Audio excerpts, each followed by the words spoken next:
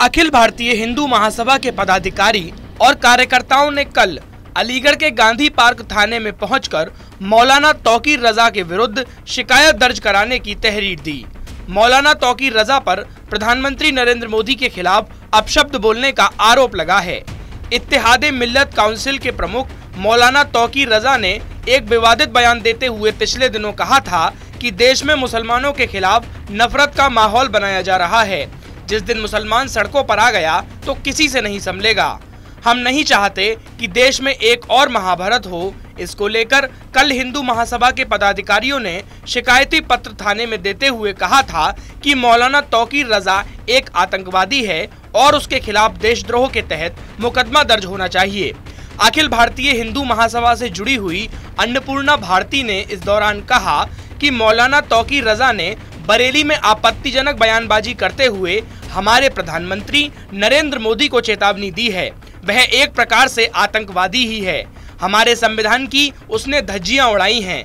हमारे माननीय प्रधानमंत्री मोदी जी को जिस प्रकार से उसने चेतावनी दी है और बंटवारे की बात कही है, ऐसे में उसके विरुद्ध देशद्रोह का मुकदमा दर्ज होना चाहिए। उन्होंने कहा कि ऐसे ही लोग हैं जो देश में बेमनस्यता फैलाना चाहते हैं। अन्नपूर्णा भारती का कहना है कि अगर 10 दिन में उसकी गिरफ्तारी नहीं होती है तो हम बरेली में जाकर अनशन करेंगे।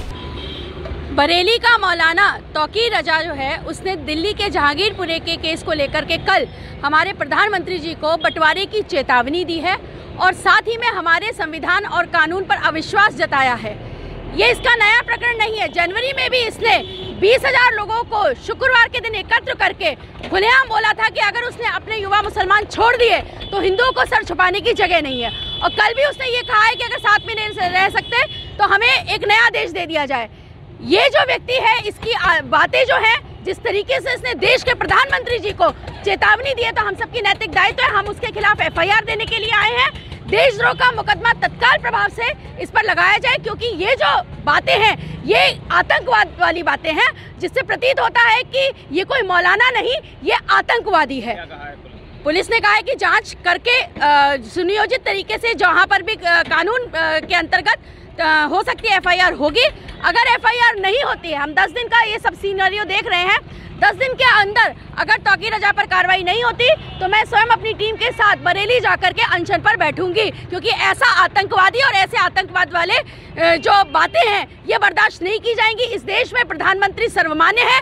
मोदी जी के विरुद्ध जो भी उनको चेतावनी देने की कोशिश करेगा, एक सैनिक के रूप में हम सबसे पहले उससे लड़ने को तैयार हैं।